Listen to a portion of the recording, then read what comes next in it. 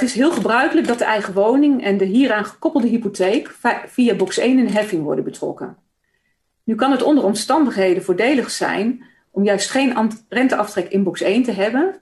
Uh, en deze hypotheek, uh, in verband met deze hypotheek, maar het saldo van deze hypotheek met uw box 3 vermogen te gaan salderen. En zeker gezien de huidige lage financieringsrente kan dit een voordeel opleveren.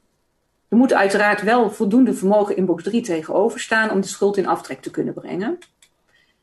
Nu is voor hypotheken uh, die zijn aangegaan voor 1 januari 2013 het vrij eenvoudig om deze in box 3 te laten uh, vallen.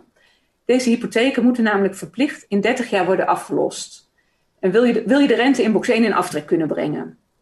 Door nu meer aan alle voorwaarden te voldoen, uh, om de renteaftrek te krijgen in box 1, valt deze hypotheek eigenlijk automatisch in box 3. Dus stoppen met aflossen leidt ertoe dat deze hypotheek uh, overgaat naar box 3. Hypotheken die zijn aangegaan voor 2013, die kennen niet die verplichte aflossingseis, zijn in het algemeen ook aflossingsvrij. Voor dergelijke hypotheken is het overbrengen naar box 3 niet eenvoudig en eigenlijk onmogelijk.